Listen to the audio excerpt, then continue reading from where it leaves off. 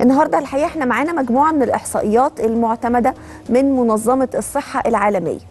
أكتر 50 دولة في العالم مصنفة إن فيها أكتر نسب انتحار في العالم. 50 دولة الحقيقة ما كانش فيهم من ضمن ال 50 دول ولا دولة آه، عربية ولا دولة إسلامية ولا مصر طبعا مش في القصة خالص بعيد جدا جدا.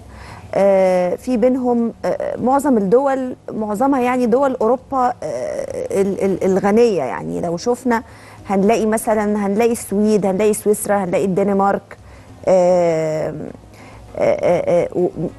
والحقيقة اللافت للنظر إنه من ضمن أول عشر دول موجودة هي اليابان. اليابان موجودة نمرة تسعة. اللي هو الناس دي يعني اللي بنسميهم كوكب اليابان الشقيق وبنبص لهم على أساس إن هم أنجح ناس في العالم وأنجح ناس في التاريخ وأكتر ناس آه، آه، شاطرين في الدنيا آه، هم فيهم أكتر ناس بتنتحر. لقينا كمان إنه إنجلترا زاد فيها معدل الانتحار بشكل ملحوظ السنة دي. بيقول لك إنه أفاد تقرير لجنة صحية بريطانية بإن معدل آه، آه، إقدام الأشخاص على الانتحار في إنجلترا سجل زيادة على نحو غير متوقع وغير معروف السبب. وارتفع معدل الانتحار في إنجلترا وويلز واسكتلندا بعد سنوات من الانف... آه، من الانخفاض فيما يقول الباحثون إنهم لا يستطيعون تفسير هذا الارتفاع المفاجئ.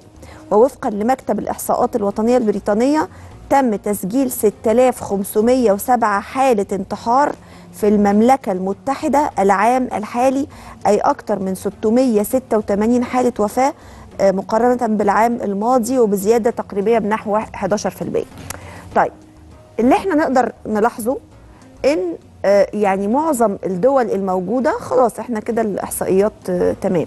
إن معظم الدول الموجودة آه، معظمها غنية. يعني هي دول مش بتعاني من الفقر. ما شفتش الصومال مثلا. ما شفتش أي دولة عندها مشاكل يعني في الفقر.